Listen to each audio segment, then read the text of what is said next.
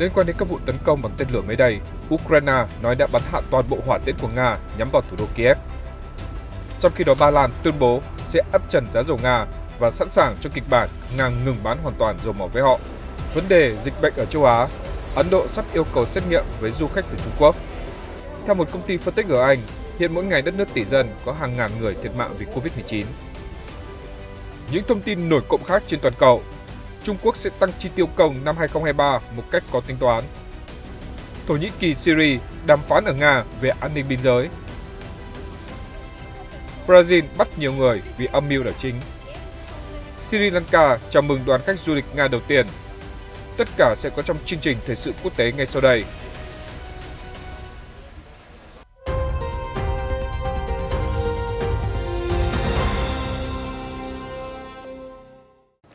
Chào mừng quý vị đến với chương trình Thời sự quốc tế hôm nay. Sau đây là những thông tin chi tiết. Bộ Quốc phòng Ukraine mới đây cho biết toàn bộ 16 tên lửa nhắm vào thủ đô Kiev vào ngày 29 tháng 12 đều bị bắn hạ. Tuy nhiên, nhiều mảnh vỡ đã rơi trúng các tòa nhà và làm cho một số cư dân bị thương. Việc bắn hạ 100% tên lửa chứng minh các hệ thống phòng không được bố trí ở thủ đô Kiev phát huy hiệu quả rất tốt. Tuy nhiên trên mạng xã hội, một số ý kiến tỏ ra nghi ngờ do các vụ nổ lớn làm hư hại nhiều công trình dân sự dưới mặt đất, không thể do các mảnh vỡ gây ra được. Bộ Quốc phòng Ukraine cũng báo cáo trong đợt tấn công vừa qua, Nga đã bắn khoảng 120 tên lửa vào các thành phố lớn như Kiev, Kharkov, Lviv và Odessa. Phần lớn trong số đó đều bị bắn hạ. Một số thành phố như Lviv, các trạm biến thế bị trúng đạn khiến 90% cư dân mất điện. Phía Nga giải thích rằng những đợt tấn công này nhằm trả đũa máy bay không người lái của Ukraine tấn công sâu vào sân bay Nga, khiến ba quân nhân Nga thiệt mạng vào mấy ngày trước. Ba Lan đã chuẩn bị sẵn sàng với lệnh cấm bán dầu của Nga cho các quốc gia thực hiện áp trần giá. Một bộ trưởng của Ba Lan cho biết như vậy vào ngày 29 tháng 12, giải thích thêm rằng họ đã cắt giảm lượng dầu thô mua của Nga và chuyển sang nguồn cung thay thế từ các nhà sản xuất ở Ả Rập Saudi. Các quốc gia G7 và EU, bao gồm Ba Lan, đầu tháng này đã đồng ý áp trần giá 60 đô la Mỹ trên một thùng đối với dầu thô vận chuyển bằng đường biển của Nga.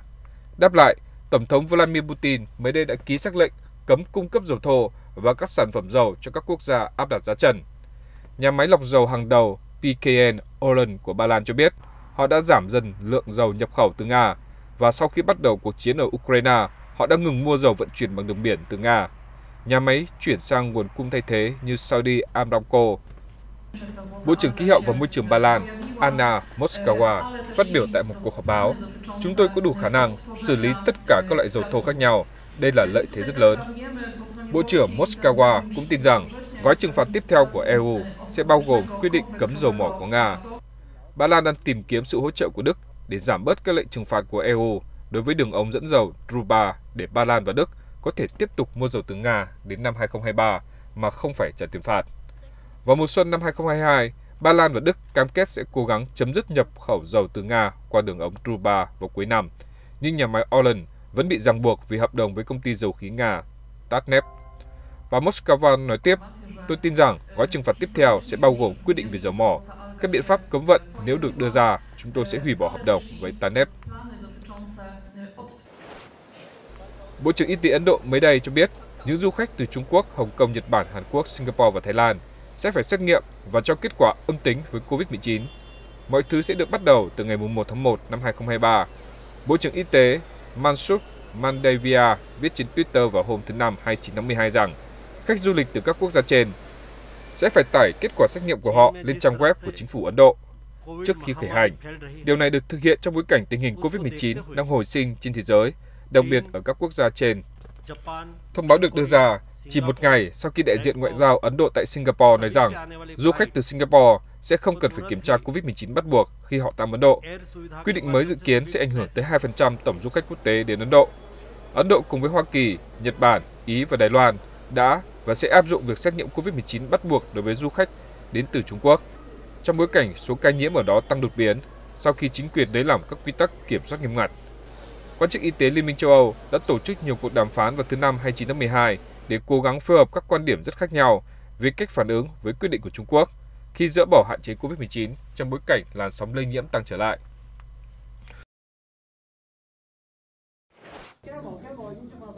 Khoảng 9.000 người ở Trung Quốc có thể đã qua đời mỗi ngày vì COVID-19. Công ty dữ liệu y tế Affinity có trụ sở tại Vương quốc Anh cho biết như vậy vào hôm thứ Năm ngày 29 tháng 12.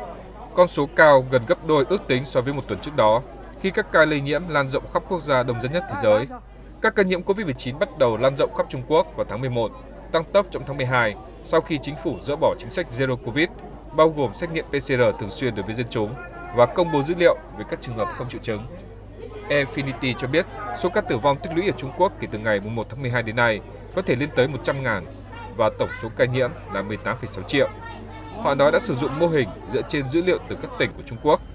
Infinity dự đoán số ca nhiễm COVID-19 của Trung Quốc sẽ đạt đỉnh vào ngày 13 tháng 1 năm 2023 với 3,7 triệu ca mỗi ngày.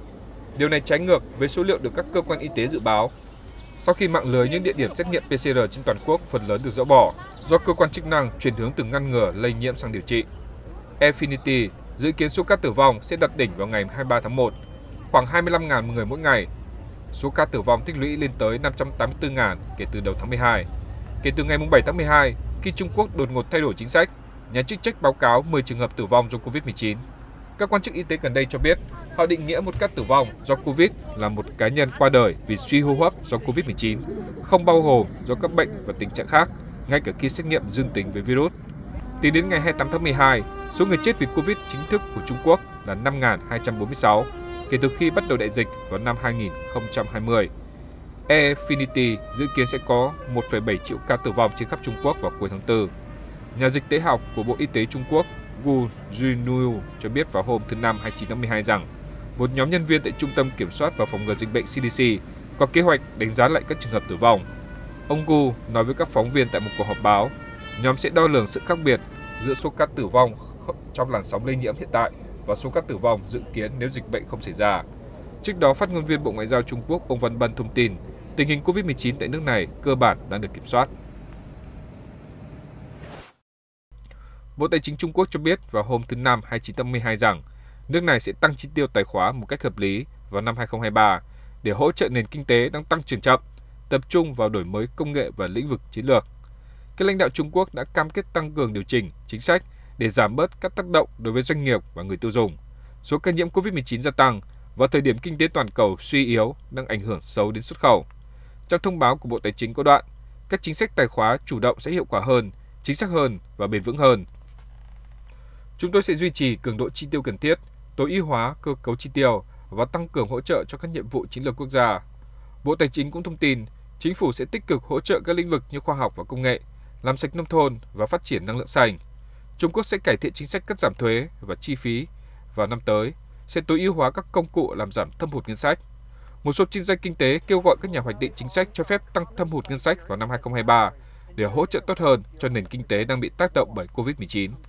Trung Quốc đặt mục tiêu thâm hụt ngân sách hàng năm ở mức 2,8% GDP cho năm 2022, cùng với hạn ngạch là 3,65 nghìn tỷ nhân dân tệ cho trái phiếu đặc biệt địa phương để tài trợ đầu tư cơ sở hạ tầng. Thổ Nhĩ Kỳ hậu thuẫn và hàng triệu thường dân. Nhiều người trong số họ đã chạy sang Thổ Nhĩ Kỳ để thoát khỏi cuộc xung đột. Quan chức Thổ Nhĩ Kỳ mô tả cuộc gặp là tích cực. Điều đó giống với tuyên bố của Bộ Quốc phòng Syria đưa ra sau cuộc họp, có sự tham dự của Bộ trưởng Quốc phòng Nga, các chỉ huy tình báo Syria và Thổ Nhĩ Kỳ, những người đã gặp nhau nhiều lần trong những tháng gần đây. Ông Badran Ziakut, một quan chức cấp cao trong chính quyền tự trị do người Kurd lãnh đạo ở miền Bắc Syria cho biết, ông mong đợi một giai đoạn mới của các thỏa thuận có lợi cho tất cả các bên và sớm mang lại hòa bình. Nhưng phát biểu với báo chí, ông bày tỏ lo ngại, hy vọng thỏa thuận sẽ không dẫn tới những cuộc tấn công từ phía Bắc. Thổ Nhĩ Kỳ đã tiến hành ba cuộc xâm nhập vào miền Bắc Syria, chủ yếu nhằm đến chính quyền người Kurd. Người Kurd đã thiết lập quyền tự trị đối với phần lớn miền Bắc Syria khi chiến tranh bắt đầu vào năm 2011. Thổ Nhĩ Kỳ coi nhóm này là mối đe dọa với an ninh quốc gia vì họ có quan hệ với đảng công nhân người Kurd PKK và đe dọa tiến hành nhiều cuộc tấn công khác từ sau vụ đánh bom chết người ở Istanbul vào tháng trước.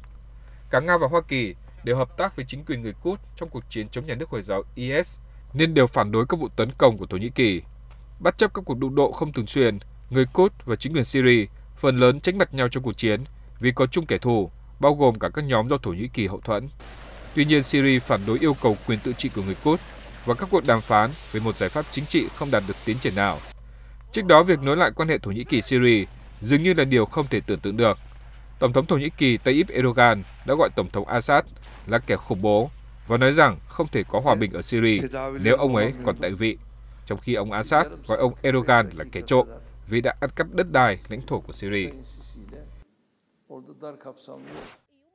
Cảnh sát Brazil mới đây cho biết họ đã bắt giữ ít nhất 4 người và thực hiện các cuộc truy quét trên toàn quốc trong cuộc điều tra về một âm mưu đảo chính được thực hiện bởi những người ủng hộ Tổng thống cực hữu mới bị đánh bại Jair Bolsonaro. Các nhà chức trách Brazil, đứng đầu là tòa án tối cao, đã cảnh báo một nhóm nhỏ những người ủng hộ ông Bolsonaro, những người từ chối thừa nhận chiến thắng của Tổng thống đắc cử Luiz Inácio Lula da Silva, đang kêu gọi đảo chính quân sự. Ông Bolsonaro, người vẫn chưa thừa nhận thất bại, đã đưa ra những tuyên bố vô căn cứ rằng hệ thống bầu cử của Brazil thiếu uy tín. Vụ bắt giữ hôm thứ Năm diễn ra chỉ vài ngày trước lễ nhậm chức của ông Lula vào Chủ nhật ngày 1 tháng 1 năm 2023 và chưa đầy một tuần sau khi cảnh sát ở Brasilia cho biết họ đã phá vỡ một âm mưu đánh bom do những người ủng hộ ông Bolsonaro chủ mưu. Cảnh sát liên bang hôm thứ Năm cho biết họ đã thực hiện 32 lệnh khám xét và bắt giữ tại 8 bang theo lệnh của tòa án tối cao. Ông Cleo Mazzotti, người đứng đầu bộ phận tội phạm của tổ chức của cảnh sát liên bang cho biết, bốn người đã bị bắt, dự kiến sẽ có thêm các vụ bắt giữ khác khi cảnh sát đang truy tìm 7 người nữa. Trong số 4 người bị bắt, hai ở bang Rondônia, một ở Rio de Janeiro và một ở Brasilia. Hầu hết những người bị bắt và đang bị truy tìm đều từng đã thăm và ủng hộ ông Bolsonaro. Với lo ngại ngày càng tăng về rủi ro an ninh xung quanh lễ nhậm chức ngày 1 tháng 1 của ông Lula, Tòa án tối cao Brazil hôm 28 tháng 12 đã cấm những người sở hữu mang súng ở nơi công cộng cho đến sau khi buổi lễ nhậm chức kết thúc. Sri Lanka hôm thứ Năm 29 tháng 12 đã chào đón những du khách Nga đầu tiên sau khi quốc gia chìm trong khủng hoảng này, kêu gọi Moscow giúp vực dậy nền kinh tế bằng cách tạo điều kiện cho khách du lịch đến thăm. Nga là nguồn du khách lớn nhất của Sri Lanka vào đầu năm nay, nhưng gần như ngừng lại sau khi cuộc xung đột bùng nổ ở Ukraine. Và hòn đảo Ấn Độ Dương này đã gặp khủng hoảng kinh tế tồi tệ nhất từ trước tới nay. Một tranh chấp thương mại cũng khiến các chuyến bay trực tiếp giữa hai nước bị đình chỉ trong nhiều tháng, khiến Tổng thống lúc đó là Gotabaya Rajapaksa yêu cầu người đồng cấp Vladimir Putin giải quyết bế tắc. Chuyến bay hôm thứ Năm 29 tháng 12 của hãng hàng không Red Wings từ Nga chở 398 hành khách là chuyến bay đầu tiên hai tuần một lần giữa Moscow và thành phố cảng phía nam Hambantota. Tổng giám đốc Red Wings, ông Evni Solodilin nói, việc bắt đầu các chuyến bay đến Sri Lanka là một cột mốc mới, một sự kiện đáng chú ý đối với hãng, hành khách và hai đất nước. Đường bay này bổ sung cho các chuyến bay hiện có giữa Moscow và Colombo của hãng hàng không quốc gia Nga Aeroflot đã nối lại vào tháng 10 sau 4 tháng tạm dừng. Sri Lanka duy trì mối quan hệ thân thiện với Nga, bất chấp phương Tây tẩy chay vì cuộc xung đột ở Ukraine. Sri Lanka cũng mua dầu giảm giá của Nga, phớt lờ các lệnh cấm vận do Hoa Kỳ và Liên minh châu Âu áp đặt. Nhiều tháng mất điện, lạm phát, thiếu lương thực và giá nhiên liệu cao đã khiến cuộc sống của 22 triệu người dân Sri Lanka trở nên khốn khổ từ đầu năm đến nay. Ông Rajapaksa đã từ chức vào tháng 7 sau khi trốn khỏi đất nước vì người dân biểu tình. Họ tức giận bởi sự sụp đổ của nền kinh tế. Người kế nhiệm của ông Rajapaksa đã nỗ lực cân đối kinh tế Sri Lanka bằng cách tăng thuế và cố gắng khởi động lại ngành du lịch, một nguồn ngoại tệ cực kỳ quan trọng của Sri Lanka trước đại dịch. Chương trình thời sự quốc tế của chúng tôi đến đây là khép lại. Chân thành cảm ơn quý vị đã quan tâm và theo dõi. Tạm biệt và hẹn gặp lại quý vị trong những chương trình sau.